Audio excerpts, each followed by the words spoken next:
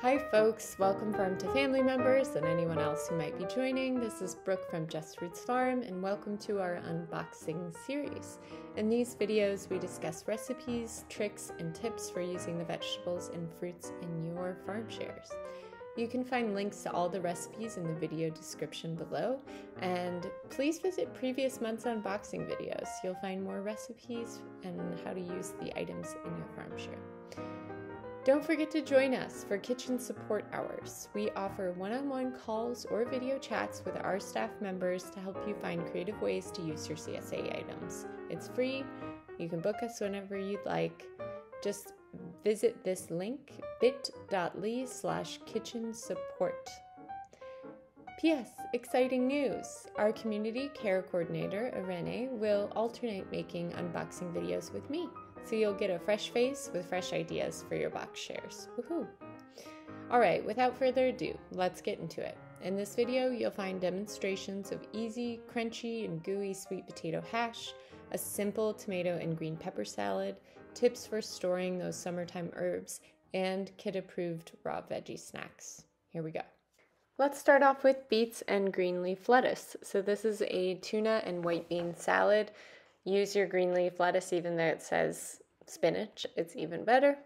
Uh, canned tuna and canned beans make it really easy and accessible. You can have it in the pantry, but it's easy and delicious. Those fresh beets that are freshly boiled are so yummy. You can use fresh dill and some red onion with it. For info on how to boil beets, we put a link in the description below with an easy recipe for that. We've got three recipes that utilize carrots. The first being a carrot and ginger soup. It's vegan and gluten free. We also have a roasted brown butter, honey, and garlic carrot recipe.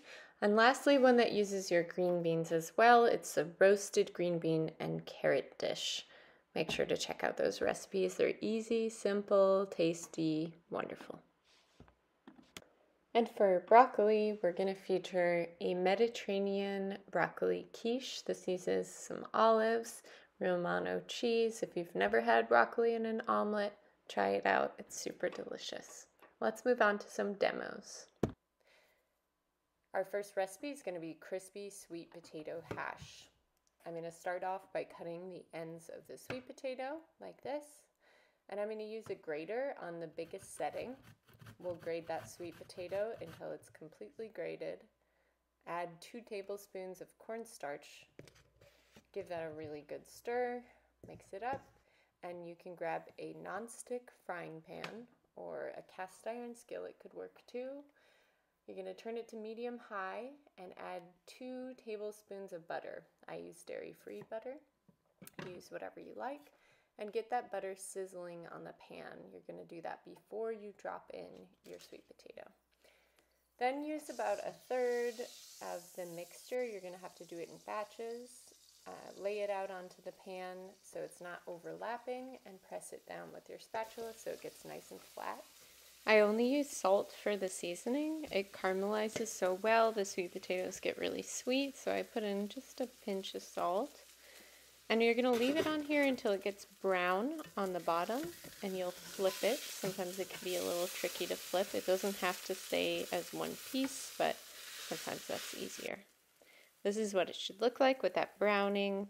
I'm going to cook it a little bit longer and then I drain it on a paper towel so it gets off any excess butter. And then voila, delicious sweet potato hash. Next up, we'll demo a simple green pepper and tomato salad, fresh for summer.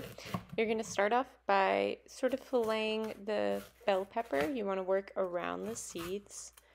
So that's what I'm doing here, just using knife to cut out everything on the outside of the seed.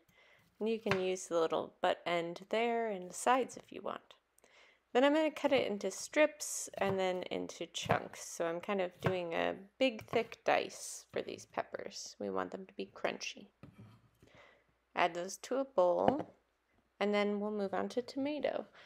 Again, I'm doing thick slices here. Careful not to cut into the center of the tomato. I'm cutting all the way around it. So slices on either side. And then I'll leave the little middle piece out, which is a little bit stemmier. Then I'll further dice those tomatoes so they're around the same size as the green pepper. Then we'll use one clove of garlic, kind of a medium to large clove. We're going to have this raw, and I'm going to mince it as finely as I can. So I took off the peel, cut off the root end, and then did a really fine mince. We're going to let that marinate for a little bit so it won't be as intense, all that raw garlic. I'm going to use a fresh onion or a regular onion. I'm going to use one half of this small onion, so just keep that in mind. I'm not using too, too much. And I cut these into sort of strips, leaving the end attached, and then I dice them. And so they're quite a bit smaller than the tomato and the green pepper chunks. Next up, a little bunch of parsley. It's nice to add fresh herbs into this. You don't have to. You can also use, you know, a teaspoon of dried parsley. I left the ends and just cut the leaves. I did a tablespoon of red wine vinegar. You could do apple cider vinegar, white vinegar. And I did a tablespoon and a half of olive oil.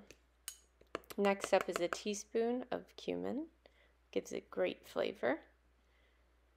And then some salt to taste. You can also put some pepper if you'd like. I did like a quarter teaspoon of salt and a few dashes of pepper, give it a good stir, and then I'm going to let it marinate for a minute. So I'm going to seal it with some, you could put it in a Ziploc or you could use saran wrap like I am and put it in the fridge for a bit until I'm ready to serve. Very quickly, I want to go over some tips for keeping herbs fresh. First is the water method.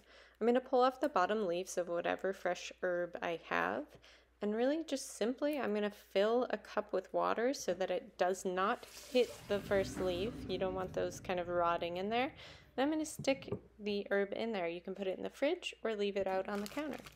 The second method is stuff those herbs into a Ziploc bag and I just put a piece of paper towel in it and seal it up. The paper towel absorbs some of the extra moisture that you don't want on those herbs and they're gonna last for quite some time. Our last demo is for parents who want their kiddos to eat more vegetables. Uh, cutting your vegetables in fun shapes and making little creatures can really help kids get excited about trying new veggies. So here I'm demonstrating how to cut carrot into flowers. You just cut out little wedges. You can eat those if you'd like, and then slice it.